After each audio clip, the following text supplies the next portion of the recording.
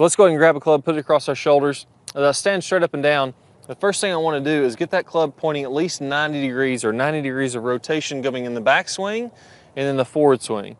Now here, I'm letting this club go ahead and rotate level with the ground. So again, we're gonna get in four or five reps here.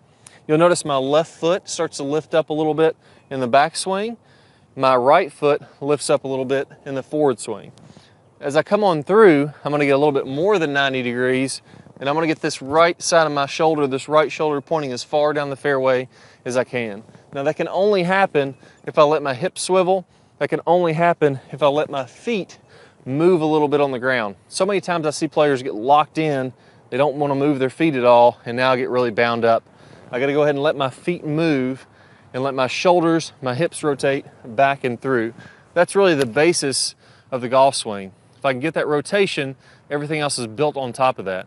Now from here, we're simply gonna take that same rotation and we're just gonna hinge forward. So if I'm coming level with the ground, imagine this being a plane of glass as I'm rotating back and through.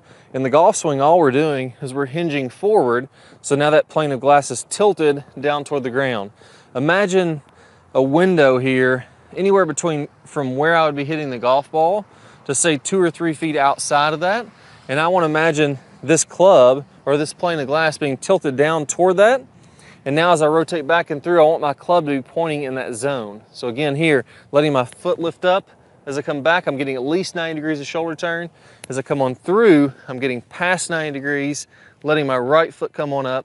I'm staying in my posture here. I don't wanna come all the way to my complete finish.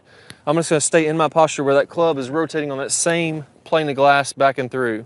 So again, I'm gonna go ahead and get four or five reps as I'm doing this rotating back and through, making sure that my club is pointing on the ground, almost imagining a line going back and through toward my target, and my club is just gonna trace that line as I come back and through. That's getting my body to stay in its posture, that's getting me to rotate, that's really building the foundation of what is a golf swing.